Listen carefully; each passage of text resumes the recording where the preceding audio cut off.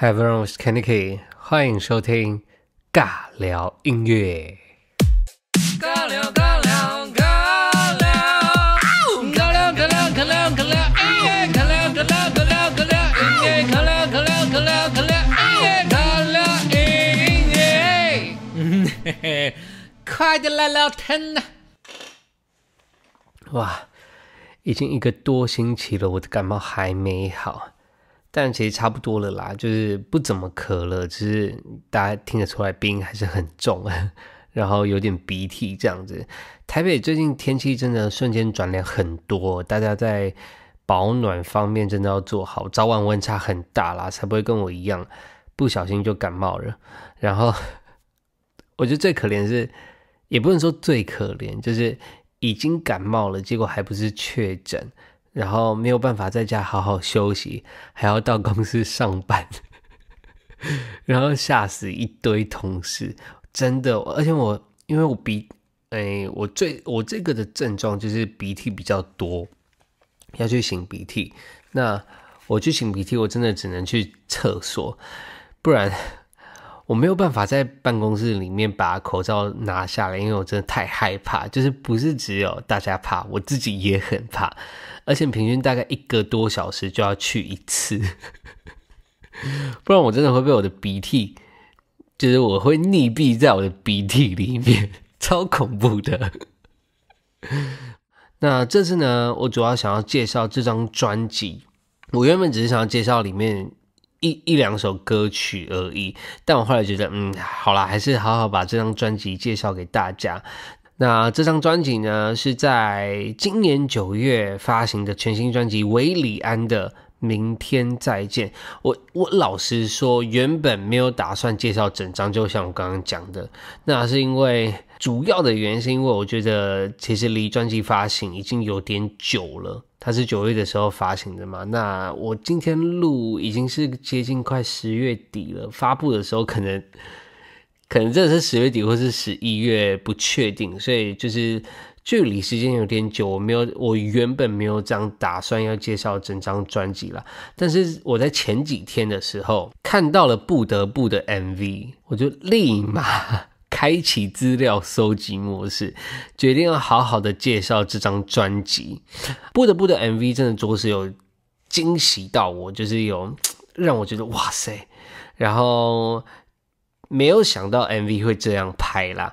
那但是呢，在聊 MV 之前，我想先跟大家聊一下这张专辑，就是《明天再见》这张专辑。这几年的维里安真的算是蛮。高产量的创作型歌手，从二零二零年的《Sounds of My Life》，然后去年的《I'm More Sober When I'm Drunk》，然后一直到这一次的《明天再见》，他等于是一年一张的跟大家见面，然后还中英混搭，就是让喜欢 Weber 的。歌迷朋友大大的满足了听英文歌的瘾哦，真的很厉害。那这次的《明天再见》专辑呢，主要是由“再见”这个主题贯穿整张专辑。那威利安的灵感来自于斯多格学派中的一句话，叫做 “Memento Mori”。Memento Mori 呢，简单来说就是。呃，人终将一死啦，那我们要怎么样的不留遗憾的离开呢？其实斯多葛学派比较能白话理解的感觉，就是心理层面达到完全的自我实现的感觉。呃，就是不需要依靠名望啊、财富啊，甚至是呃身体健康去定义我这个人。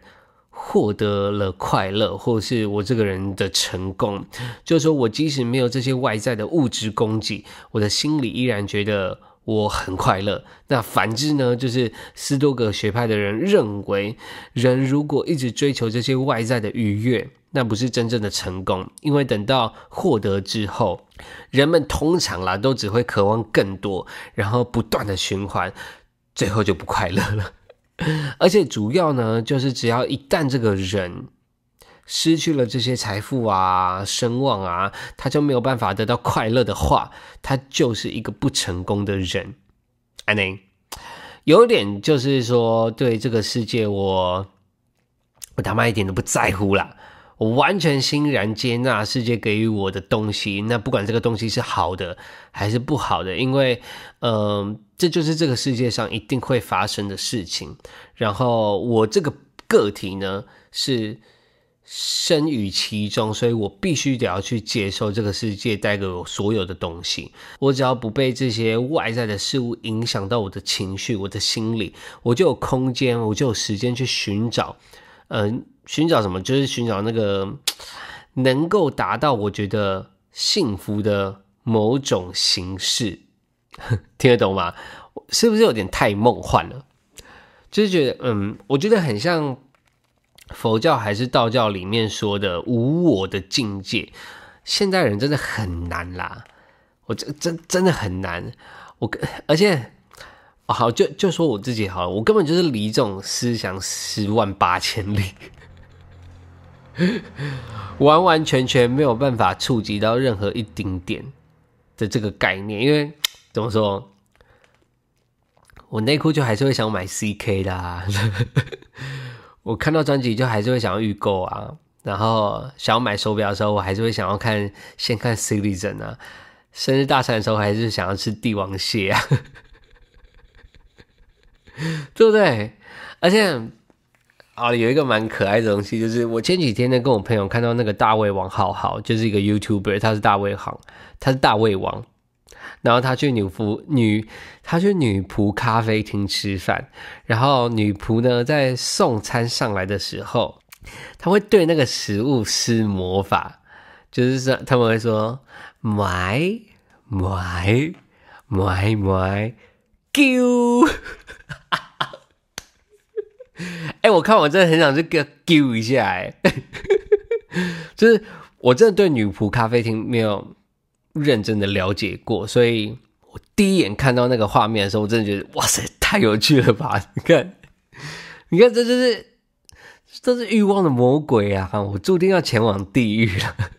十多个学派真的是，行吗？塞，这行吗？塞，我这我我没有那个慧根呐，好不好？我没有那个斯多格学派的慧根，完完全全没有。我还是在那个物质的世界里面打转。打打混，这样子，反正这这是维里安这一次在斯多格学派里面，呃，体会到的一句话叫做 “memento mori”，然后得到的灵感就是说人终将一死。那整张专辑贯穿再见这个主题，所以呢，回来到专辑的部分，这张专辑《明天再见》总共有九首的歌曲，那都跟再见有关系。我大概介绍一下好了，第一首歌呢。不都是漫长的道别？再说每个人的相遇，不都是漫长的道别吗？像是与家人、朋友啊，甚至到宠物，总有一天都要说再见，都要道别。那我们要用什么样子的方式去说再见，才不会更感伤呢？所以，如果我浪费时间，那也只浪费在你身上。这是歌词里面讲到超直观的浪漫了，我觉得第一首歌用这样子的方式去做开头，算是告诉大家说，不要等到时间快到了，我们才要去做珍惜，应该是日常生活中就要好好的珍惜的这种感觉，来自第一首歌。不都是漫长的道别？那第二首歌，第二首歌呢？找来葛大伟填词，许书豪合作写曲，然后一起和徐佳莹合唱的《不得不》，也就是促成我这一次想要介绍威廉这张专辑的重点歌曲。这首歌呢，主要在说远距离，有很多不得不要去接受的状况。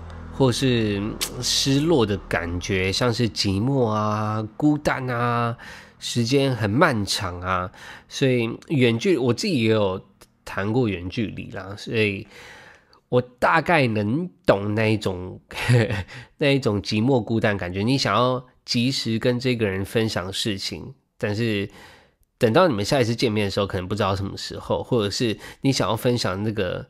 心情已经没有当下这么澎湃了。那再见的部分呢？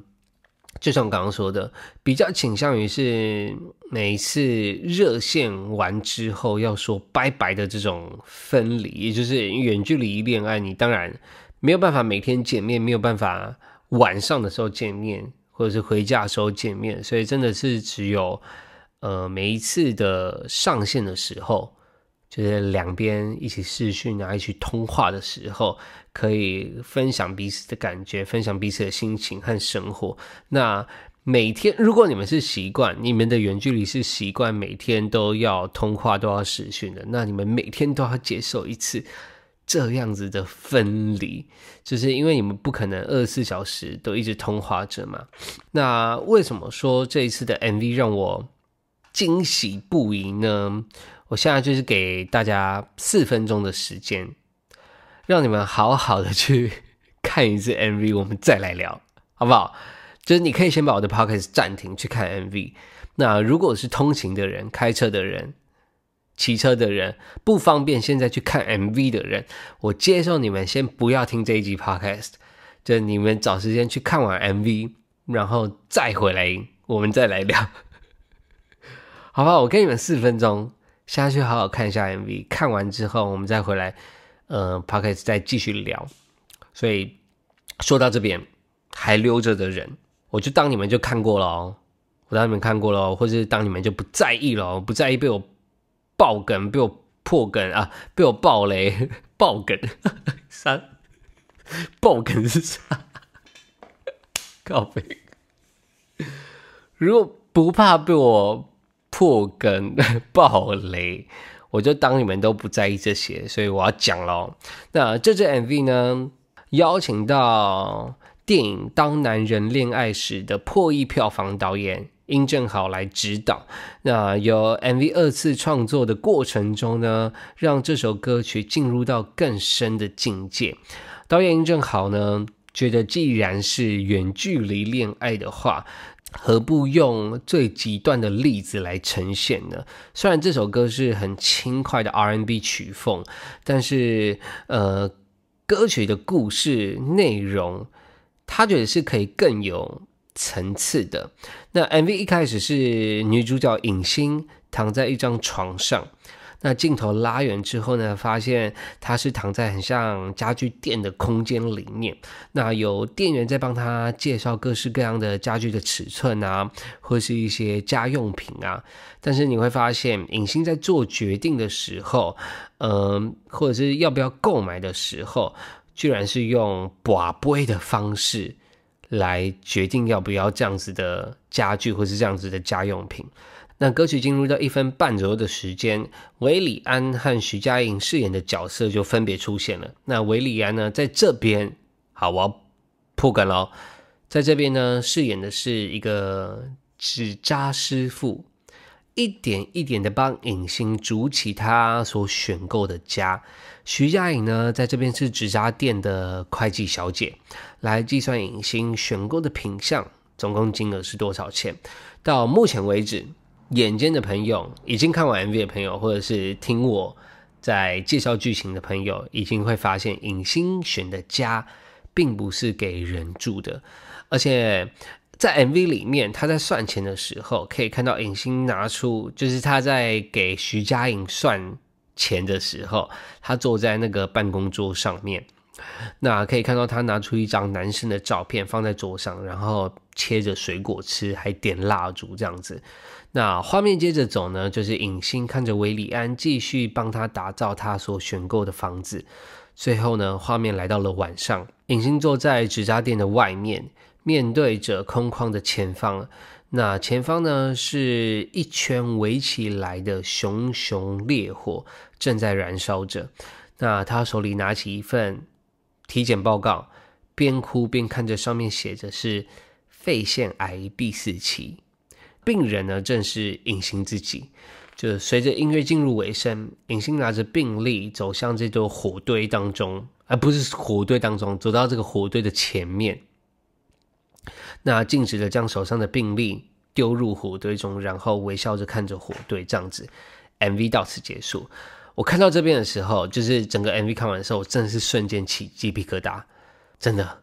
然后马上倒转，我在马上倒转，因为我觉得，哇塞，可能是有蹊跷，你知道吗？然后倒转之后才发现，那个在影星指扎店里面选购的那个选购单上面啊，就是他给徐佳莹结账的那个选购单上面，所有的品相不不能说所有啦，几乎啦，几乎都是买双人的。像他的床是买双人床，沙发是买整组的，不是一张而已。那衣服男女都有买，鞋子男女都有买，几乎所有的品相都是整组的，不是只有一个。所以你会觉得，而且在 MV 的过程中，他有在画那个呃人偶，他也不是只有画男生，他是男生女生都一起画，然后一起跟着大火一起烧掉这样子。所以，就你会发现，他不是只是在为他已逝的爱人买房，他同时也在为自己买房。哎，这大家有看出来吗？就是这样的远距离，然后在最后埋了一个再见面的梗。我只能说，导演你真的真的很厉害，就这真的很厉害，最厉害的那一种。而且也因为这个 MV，让这首歌又更符合威利安想要传达的概念，就是贯穿整张专辑的理念，就是再见。我其实自己对生死啊，最近真的蛮有感觉的。我有一位很好的朋友。今年三月的时候得知，呃，他妈妈癌症复发，当时医生的诊断是说，大概就只剩下半年左右的时间这样子。然后，呃，上个月又跟他有再继续做联系，那得知他的妈妈还在，只是情况越来越不乐观了。然后我也是有稍微的安慰他。然后提醒他尽可能的去问一下妈妈最近有没有什么想要去的地方，就是就是好好陪伴妈妈走完这最后一段路。虽然当然会希望说就是能够痊愈或是能够好起来，但我知道是这半年来她真的很辛苦啦，就是每天定期要在妈妈回诊、化疗啊、放疗啊，可能都需要去做那。呃，又要工作，又要赚钱，又要照顾妈妈。其实我知道他的压力是很大的，所以我那时候在跟他通电话的时候，真的很想哭。但我知道我不能在电话里面哭出来，因为真的想哭的人不会是我。我希望他可以坚持住，到整个事情结束完之后，我们再好好见一面，再好好吃个饭，让他好好可以放松一下，因为。最后这一段路，我我说真的啦，就是虽然我这样子安慰他，我我自己都很难想象，如果有一天我需要陪着家人走完走走最后这一段路，我应该要怎么办？我应该用什么样子的心态去面对？就是现阶段的我，现阶段的我是没有办法去想象的，所以。就是要跟大家讲说，就是爱要及时，就是常常关心身边的朋友啊、家人啊这样子。那我也很希望他可以，呃，好好的度过这段日子，然后好好的陪伴他的妈妈这样子。希望一切都好啦，但有时候现实层面上会一直把你打回来，要去面对说，其实没有你想象中的这么好。当然。当然，这就是我们必须得要去面对、必须得要去承受的。可是，当你身边朋友遇到这样子的困难的时候，或者是遇到这样子的难题的时候，这个关卡，嗯，你心里的那个舍不得的心态还是会一直涌现，然后希望说，哇，如果我可以多帮一点什么，我有跟他讲的时候，如果你有任何需要协助的，一定要跟我说，我就是。我能做得到的，我能帮得到的，我一定二话不说去帮你。真的，就是大家真的爱要及时，好不好？自己身边朋友、家人如果都还在的话，真的要好好的跟他们说爱你呀，或者是想你呀。甚至有些像我自己北漂，爸妈都在台中，我很我很常就会想要回台中看看他们。所以其实我九月的时候就回去 两次。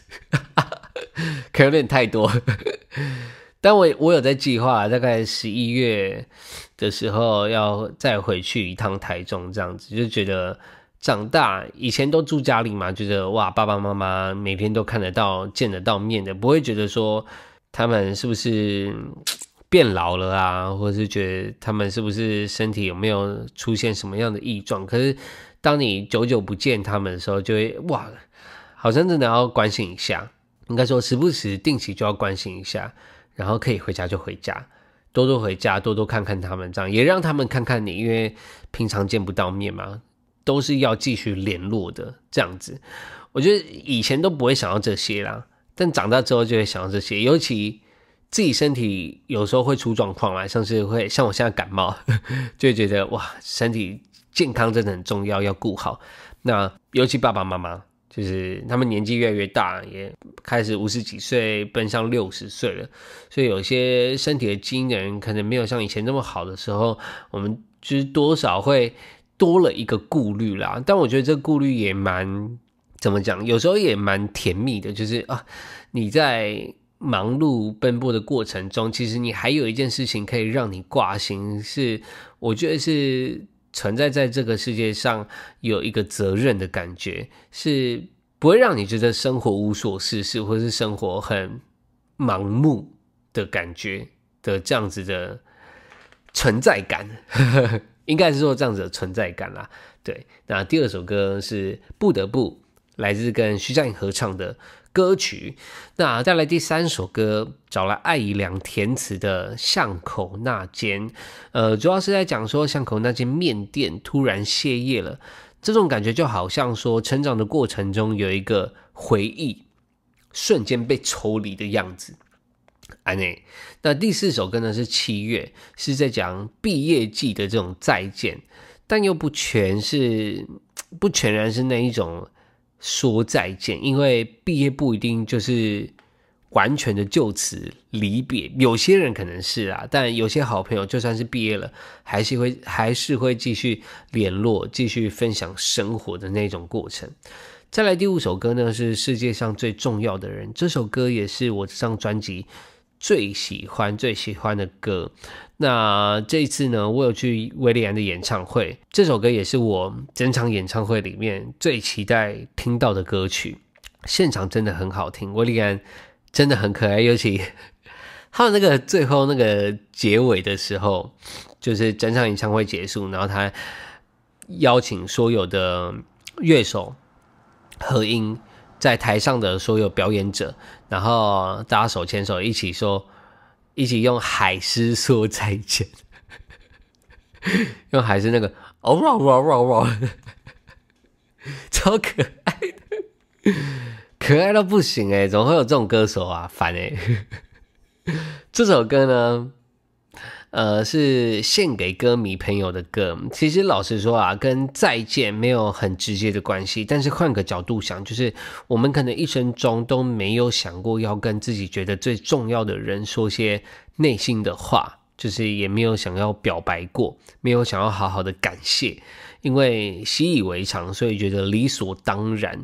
但是最重要的人，往往却是占据了我们人生的好大一个篇章。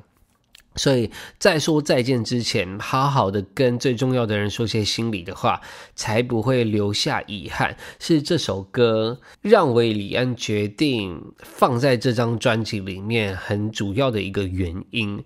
那这次去演唱会的时候，我才发现说，哇，我真的是韦礼安的歌迷。我其实，在《Songs of My Life》之前。我都只是觉得威利安就是嗯，唱歌很好听，创作很厉害。但老实说，我不太主，我我不太会主动去呃听维利安的歌。然后《Songs of My Life》这张专辑之后，一直到这一次去看演唱会，我甚至是买了三楼的位置，就是比较后面的位置，因为怎么说？我不觉得我会唱很多维利安的歌，我也不觉得我会像去张惠妹的演唱会一样这么样的投入。结果听完之后，老实说，就是我有点后悔，因为就算我是一个人去听这次的演唱会，我都好希望我是埋在那个一楼的位置，我几乎可以全场跟着唱，哎，就是。听完这个演唱会，我才发现维利安一直存在在我的生活当中，然后陪我度过了很多我不以为然的阶段。像是听沉船的时候，我有坐高铁的画面；然后听到还是会的时候，我有跟高中朋友一起练吉他的画面；然后听到因为爱的时候，有在吃下午茶、喝咖啡的画面；然后听到心醉心碎的时候，有一个人躲在房间哭的画面，就是哇，很不可思议的感觉。我没有料想到我会有这么多的感受。然后很真的很谢谢我朋友帮我抢到票，超谢谢的。然后也很谢谢自己，就算是这一次是一个人去看演唱会，我也乐在其中。当然也很谢谢维利安送给我们这首歌《世界上最重要的人》。我我相信很多人这次会去听维利安演唱会的人，因为他毕竟只开两场，真的是你要么真的是铁粉中的铁粉，你才会。这么样迫切想要抢到这两场的演唱会的票，然后想要去听韦利安的演唱会，所以我自己觉得我在看演唱会之前没有没有觉得我是超级大歌迷或者超级大铁粉，我只是觉得哇，我会觉得韦礼安在华语乐坛里面是有一定的分量在的，然后他的演唱会是我会想要这一生中想要听过一次的，就好像是。蔡依林的演唱会好像是五月天的演唱会，它是一个指标性的。对我来讲，维里安的演唱会也是一种指标性的存在，就是我会想要体验一次看看。但听完这一次演唱会之后，我可能不只会想要体验一次看看。他有点算是列入男版张惠妹的感觉，就是张惠妹是。他只要有演唱会，我一定会想要抢票去看，不管他有没有出新的专辑，或者是有没有出新的歌曲，他只要有开演唱会，我都会想要买票看。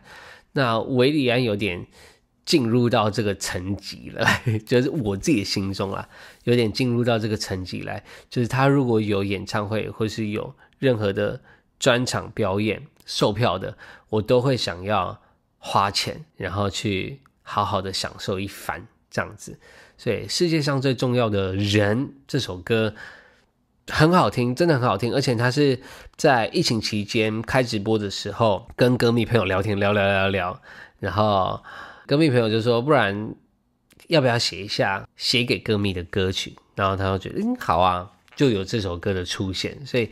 不只是对维里安来讲，我觉得对歌迷朋友来说都是别具意义的一首歌曲啦，很轻快，然后很浓烈的一首歌，对我来说是很浓烈的一首歌。那再来第六首歌曲呢，是之前发行过的单曲《忽然》。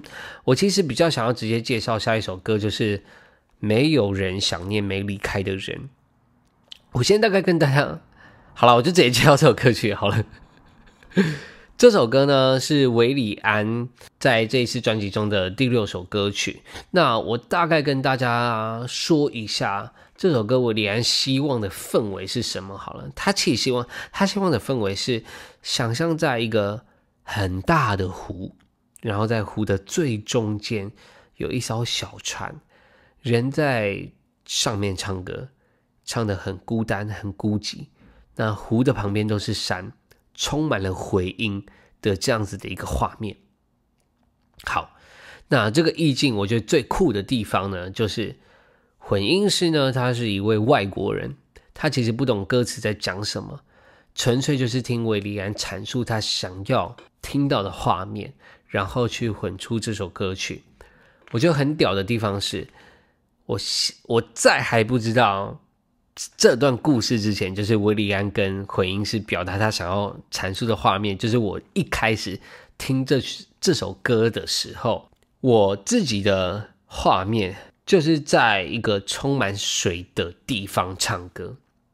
因为大家仔细听，呃，不只是一开始。呃，声就是歌声的残响上面的渲染，我觉得比较直观的讲法就是回音很大，很像在浴室里面唱歌。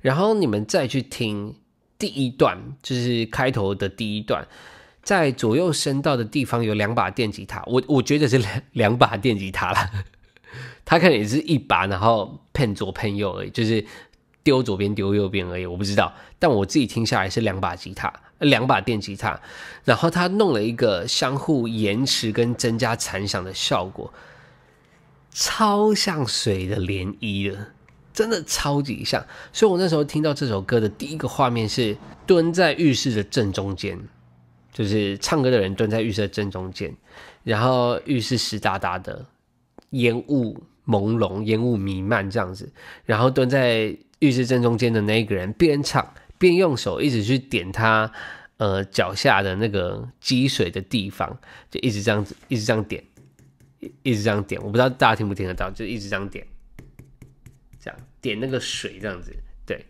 就是边点点点点点点，然后边唱，那个点点点点点点的那个感觉就很有涟漪的感觉。就是有涟漪的这种画面，真的很酷诶。然后回音师也好厉害。这首歌是我整张专辑第二有画面的歌曲，非常好听的歌曲。而且在演唱会的时候，在演唱会开始前，是不断 repeat 这首歌在小巨蛋里面很好听，而且也是我这在这张专辑里面除了。呃，世界上最重要的人，还有我等一下要介绍这首歌曲之外，它是第三首我印象很深刻的歌。不得不是因为 MV 啦，我就光听歌曲的话，它是第三首我很印象很深刻的歌。那我刚刚说这是整张专辑我觉得第二有画面的歌嘛？那这张专辑最有画面的歌曲是哪一首歌呢？就是这张专辑的主打。也是在专辑中的最后一首歌曲《明天再见》这首歌呢，邀请浩雪来写词，然后你就问说：为什么？为什么你跳过《Take Me Away》？好，我就老实说，诶，《Take Me Away》我的共鸣比较少啦，所以我就不太好意思去介绍这样。OK 啊，所以《明天再见》这首歌呢。好啦，就是反正就是明天再见这首歌呢，我觉得这首歌从词曲到编曲，然后到歌名，唯一灌满我脑海的画面就是回家，完完全就是回家。我觉得这首歌超适合当成新一代的那个费玉清的《明天见》，就是所有的图书馆、所有的健身房，任何。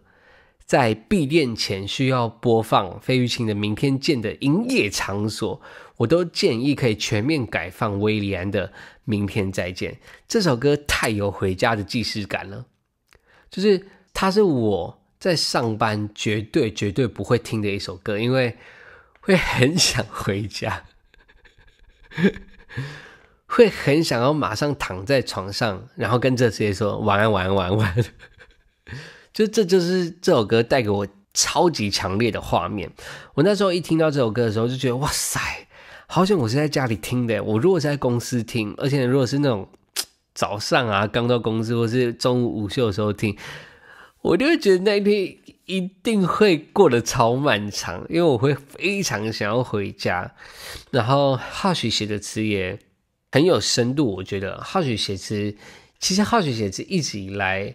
都让人很有画面。那我觉得维里安这次的专辑找到这么多的人来协助他，跟帮他填词啊，是蛮好的一个合作。或许这一次真的，他他也只是听维里安说，哦，他这一次整张专辑概念是 Memento Mori，然后想要传达的概念是再见，然后或许就填填填填填，这首歌就出来了，就是这样子。我结束在这边会不会很好笑？我其实，我其实有在思考啦，因为这整张专辑在讲再见嘛。然后我在想说，就是我我我会怕这整集很沉闷，就是因为都是在讲离别，而且不是这么多人。喜欢讲离别这个话题，就是不愿意去聊离开这种话题啦。就是我会比较喜欢用比较轻呃比较轻松的轻松的方式，然后去聊一下这张专辑《威利安的明天再见》。我希望他明年的金曲奖可以好好的发挥一下。老实说，我真的觉得《Sounds of My Life》这张专辑在金曲奖上面没有获奖，太可惜了，真的太可惜了。一一你你怎么讲？就是他的对手真的很强啦。那一年的金曲奖，诶，就去年是不是？去年金曲奖真的，唉，很死亡。还是前年？我点我我有点忘记了。但是很可惜，《Songs of My Life》这张专辑没有。得到一些奖项，那这张专辑《明天再见》，我希望在明年的金曲奖上面，真的吴丽安可以好好发挥一下。然后也恭喜他，他最近刚结婚，对不对？刚刚说，哎，你知道他，他真的是少数几个发布说结婚的时候，然后我朋友会特地，哦，忘记是我朋友还是我姐，特地截图，然后传新闻的链接跟我说，魏安结婚了，这样。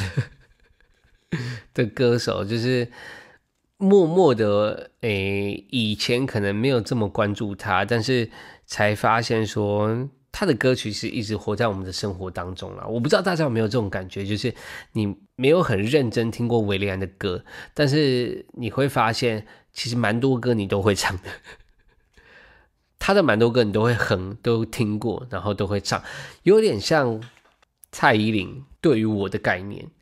就是我也不是会好好的去听蔡依林的歌的人，但是我会发现哇，她的歌其实蛮多我都会，什么特务 J 啊，还是看我七十二变啊之类的这种，就是蛮屌的啦，真的蛮屌的。然后最后呢，再容我贴心的提醒大家，呃，最近早晚天气都温差都蛮大的，都蛮冷的。还是要注意保暖，好不好？我希望我下一集的声音可以回来一点，不要再是鼻音了，真的很烦。感冒真的很烦，很麻烦，很多东西都不能吃。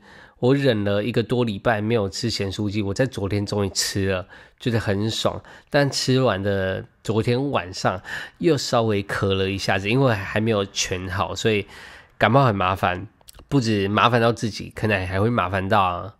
同住的人、家人或者是室友都有可能，所以早晚天气温差很大，大家还是要注意保暖，注意多穿一点外，多穿一件外套。如果你是在公司，像我自己就在公司会多放一件外套，放一件薄外套，然后骑车的时候是穿比较厚的外套，这样子就是让自己的。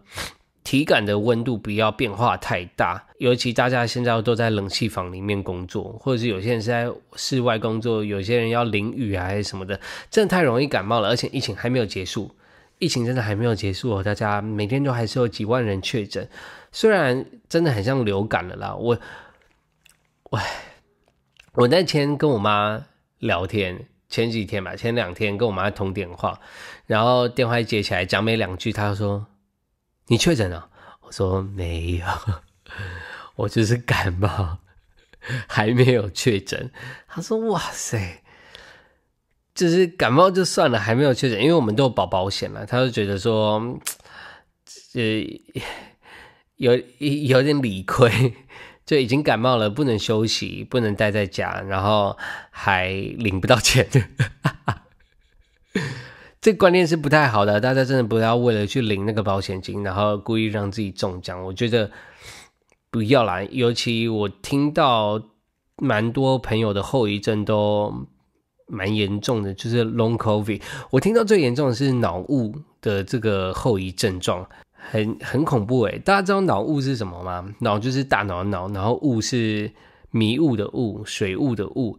它最严重的就是会失忆。而且失忆的层面很广哦，我听到国外有人脑雾很严重，他他几乎是疫情一开始就中就确诊了，所以大概是二零二零年一九年那个时候他就确诊了，然后他他得完之后，将近半年到一年左右的时间，深受脑雾的摧残，就是他严重到甚至要在呃。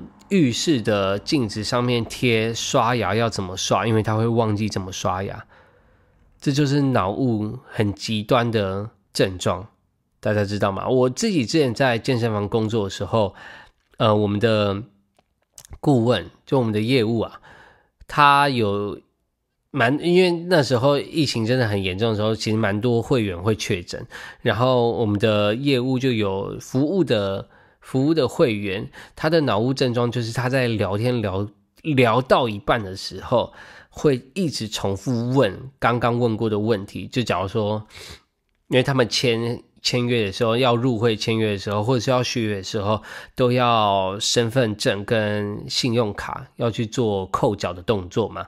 那他在这个聊天的过程中，大概半个小时里面，总共问了快要五次还六次的，我刚信用卡给你了吗？然后我们顾问就真的是吓到，他说：“你你已经问了第三遍、第四遍了。”然后他就说：“你看，这就是确诊后的后遗症。”脑雾，所以大家真的不要为了去领那个保险金，然后可以让自己中奖。我知道很多人是今年年终，就是四五月的时候才续保保险防疫险。你们一定会觉得说，哇，我还有一年的时间可以得。No No No，拜托，一辈子都不要得，能不得就不得。虽然最后它可能会变成流感化，就是真的可能大家都要得过一 round 之后才会。比较好转，但我真的觉得还是尽量能不要就不要啦。我知道很多人会说，你要不要确诊也不是你能决定的。可是，呃，我自己身边有一个朋友的例子是，他的他的女朋友确诊，然后他是负责照顾他的人，因为他们就同居者。可是他们的防疫做得很好，就是真的是好好的隔离，然后。好好的让他女朋友都待在房间里面，他就帮他买三餐啊，然后放在房门口，然后让他他离开了之后，可能去客厅或者回自己回呃书房的时候，他女朋友才开门把吃的东西拿进去。这样子，他们真的是非常努力的执行这样子的模式，一直到他女朋友快筛阴性，我朋友到现在都还没有中。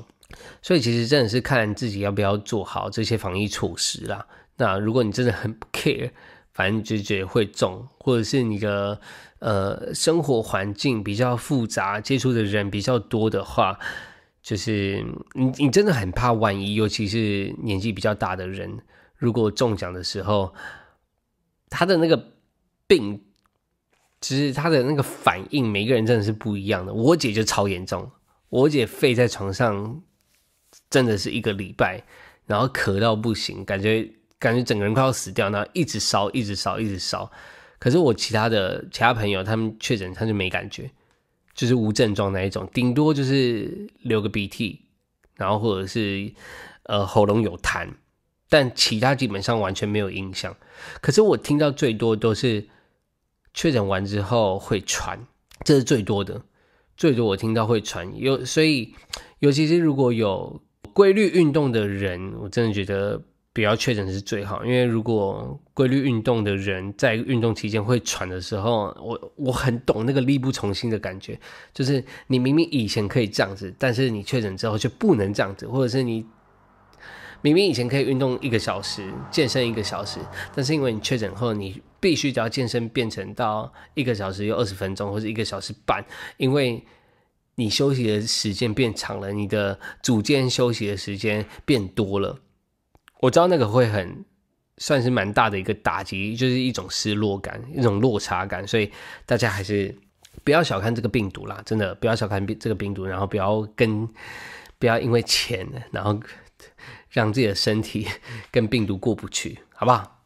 所以就是这样子啦，希望我下一集声音可以好一点。